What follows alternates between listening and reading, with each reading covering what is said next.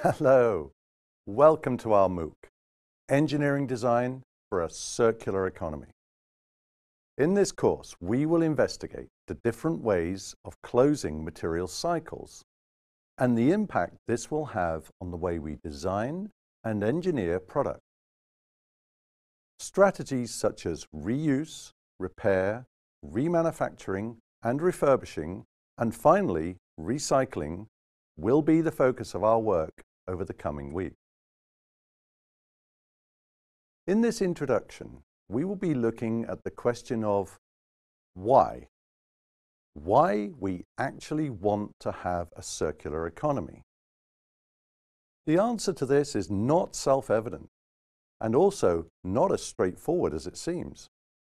Therefore, it is important to spend some time on this.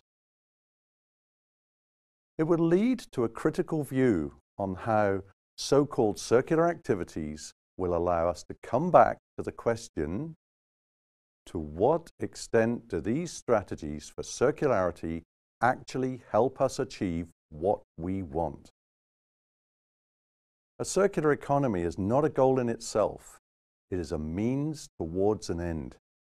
And the end is to provide a more sustainable resource base for our global society.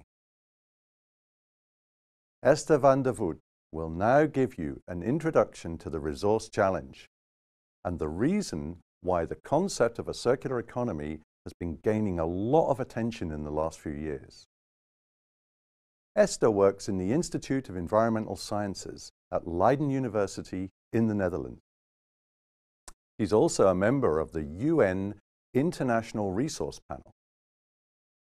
Circular economy is an increasingly relevant focus in both organizations.